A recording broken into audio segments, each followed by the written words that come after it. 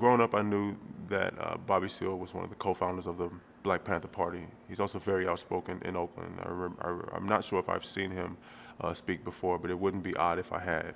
If I had, he does a lot of lectures, he, or he used to do a lot of lectures um, at, at the colleges, Merritt College, uh, very likely at, at, at, my high school or elementary schools at, at some point growing up. Um, and I know that he is a very uh, charismatic uh, figure and character, but also just a very important person in, in, in Oakland history and community in history of, uh, of, of service. It's a story from, from 1968, but it's definitely one that's a story from every day in America since the, since since the first day of this trial, um, up until right now.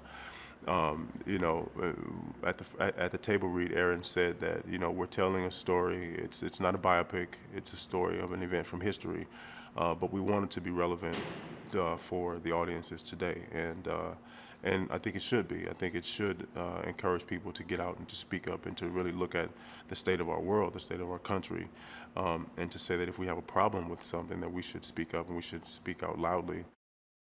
Aaron's very, very interesting uh, as a director. Aaron, uh, from my perspective, he lies heavily on his writing. Not to always bring Aaron, not, not to bring it back to his writing, but the writing is so strong uh, that as a director, he brings he brings the intelligence of what his vision is.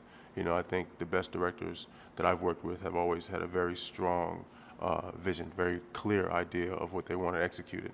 I think the other thing is that Aaron uh, cast the film incredibly well.